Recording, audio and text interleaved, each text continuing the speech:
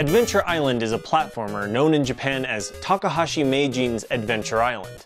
Adventure Island is actually an adaptation of Sega's arcade game Wonder Boy. Hudson was able to license the game, but not the Wonder Boy character, so they had right. to create their very own character, yeah. and they came up with Master Higgins, a Master dopey, Higgins. dopey little guy.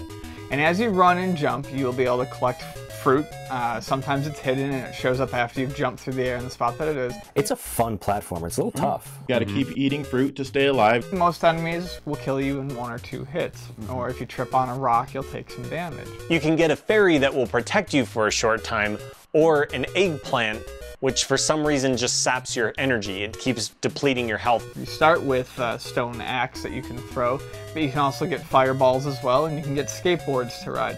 At the end of each area, there was an end stage boss, and to defeat him, you had to throw hammers at him until his head fell off. It's a great game, and it did have many. It did have a few sequels that were uh, they ended up being quite different, but this one is one that it's just fun to play almost at any time.